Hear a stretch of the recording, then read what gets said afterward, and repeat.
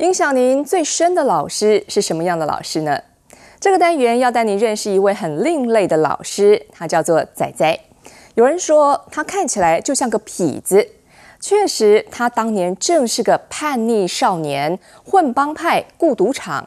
但现在他却成为帮助社子岛青少年学木工跟铁工技艺的老师，而且坚持不离不弃，要赋予这些青少年选择自己人生的能力。而仔仔这样的转变跟坚持，其实就因为他自己青少年在江湖打滚的时候，几次的危难关头，身边的人都没有放弃他，让他如今也愿意留在需要的孩子身边，等待他们成长。带您看这位江湖老师的故事。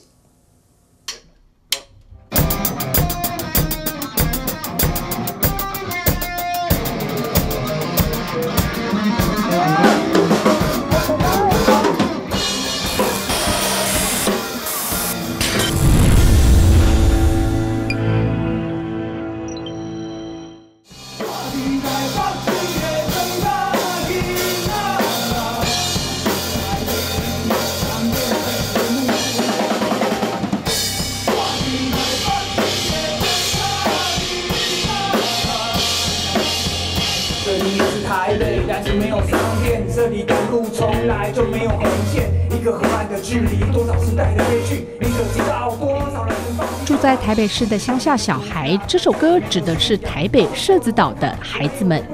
许廷瑞是这个乐团飞行约翰的主唱，小明仔仔的他也是这首歌的作词人。强烈的快拍节奏，仿佛想撼动社子岛沉闷了半世纪的禁锢空气。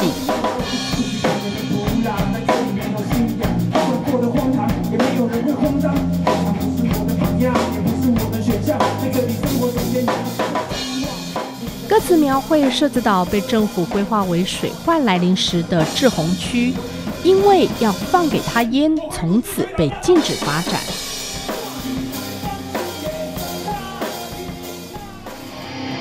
仔仔年纪轻轻，也住在台中，为何对社子岛有如此老成又细腻的观察？这一切得从一部纪录片说起。本业做雕塑的他，曾是文化部艺术特区的驻站艺术家。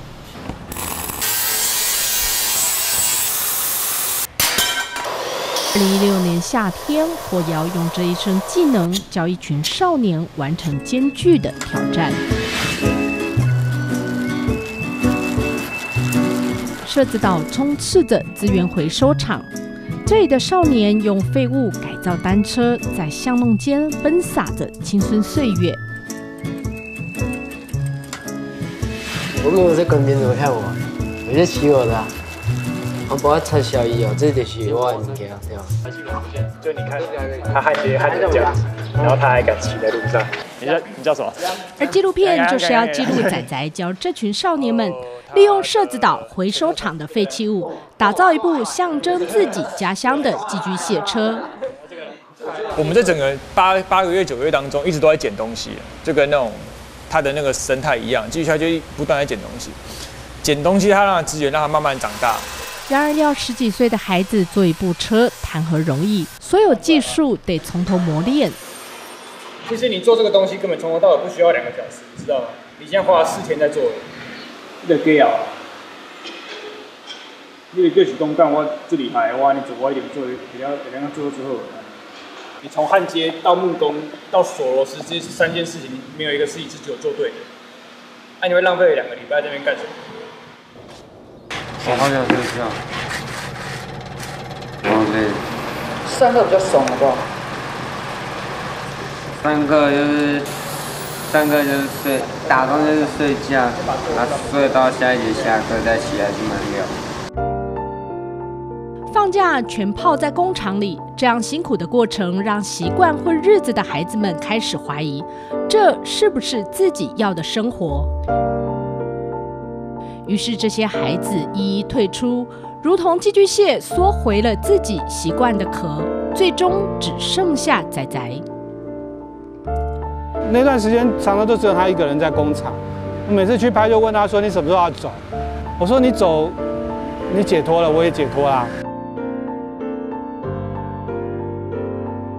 然而仔仔却一个月又挨过一个月。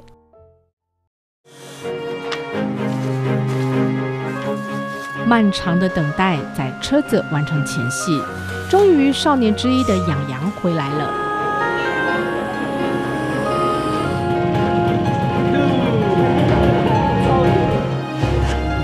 师徒俩一起完成最后一里路，走，出发喽！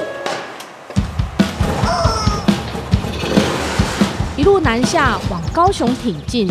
这趟将近四百公里的路途，是寄居蟹爬出了社子岛，更是养羊打破家乡无法改变、不能进步的气氛，爬出了停滞的世界，对外探头。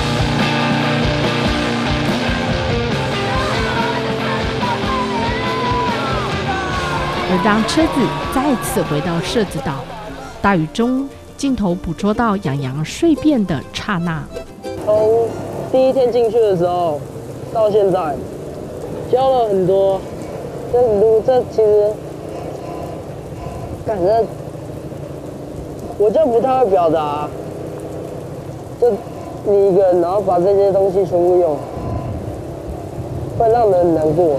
我觉得你改变了我的人生，我不知道讲什么啊，但是没有人像我一样这么幸福。可以遇到这么好的老师，那你长大以后，你长大以后会跟我做一样的事情吗？不会啊，无条件、没有条件的去帮助人吧，这样就够了。我在他们身上看到这种彼此加油的那种力量，有时候是背对背，有时候是不看彼此的。但是我们一起往前走，这个东西其实会更笃定他们之后付出还是协助别人。杨洋，他等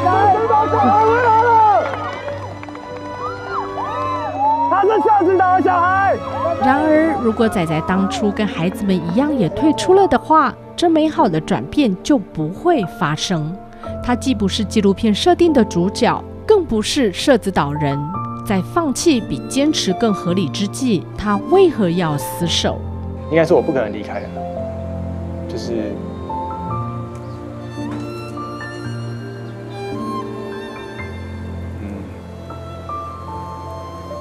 其实就有点像十五年前帮助我的人一样，嗯，对，就是我们都应该在。人家最需要帮忙的时候，留在他身边。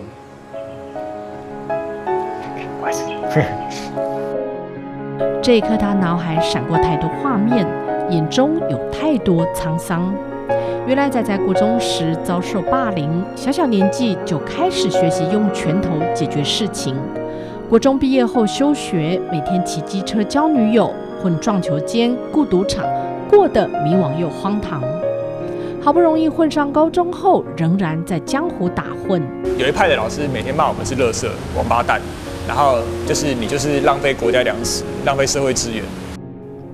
这样混日子的生活，在他加入学校社团后出现了转机。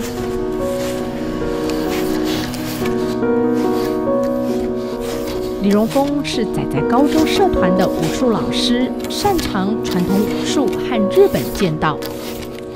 一身功夫的他和仔仔第一次见面就爆出了火花。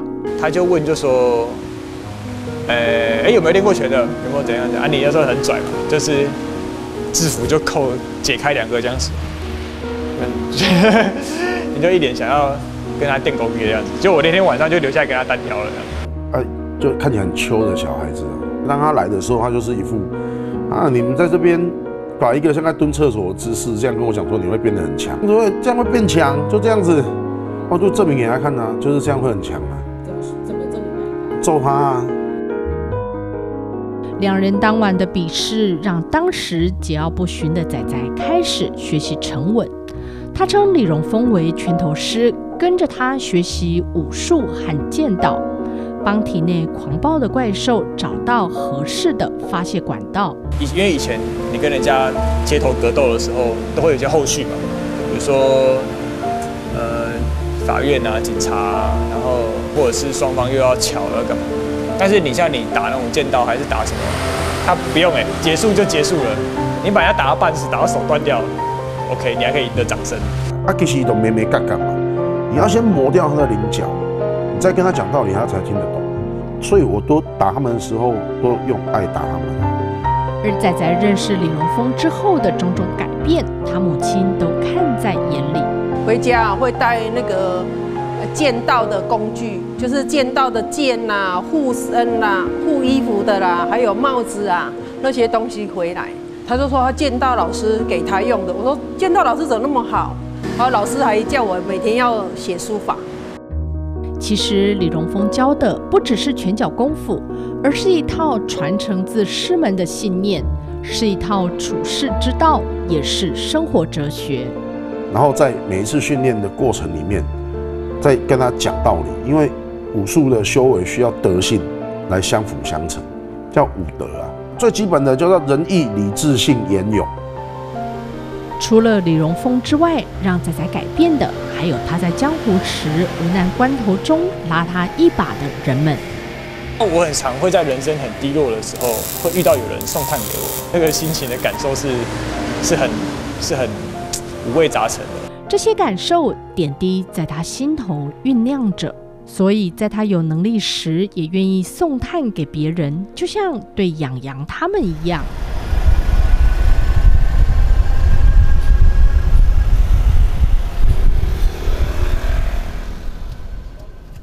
纪录片杀青后，师徒俩仍不时联络着。这一天，杨洋来到台中，仔仔顺道带他一起去铁工厂，跟更多专业师傅们学习交流。看了吗？有。拆解图，它的一九五零跟一八零四都是在这里，这里做一个模具，上下一压，它就会成型。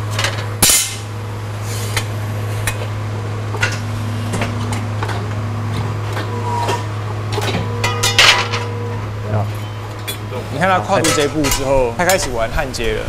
他可以再跟所有的工业产业的人交流，而且他最有本钱，就是他只是个十六岁的小孩子。对，因为十六岁的小孩，你会焊接，这是已经是一个很、很、很厉害的事情。不仅如此，仔仔也打开养羊的音乐世界。我来为，我来为大家介绍这个新团员，新的吉他手，来吧，很可以。先。硬举个二十下，深蹲给他拍下，先深蹲啊，先深蹲啊，深蹲救台湾。第一个，哎，这是第二个来抬一下。OK，好的。哦。如今杨洋也开始认真的学起电吉他。知道说焊接的这个师傅也有在玩吉他，觉得哇眼睛上啊。空闲的时候教教一些基本的常识。比如说音不准要调音。哎啊，人家，人家帮你用不会跟人家谢谢。谢谢。没礼貌。而就像李荣峰教仔仔武德，看似小痞子的仔仔也随时在细微处教养羊待人处事。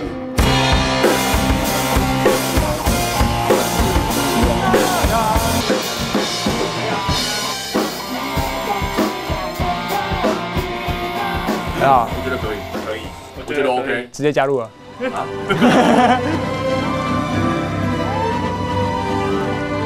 如寄居蟹般爬出了狮子岛的少年，世界从此更大，有着更多的选择。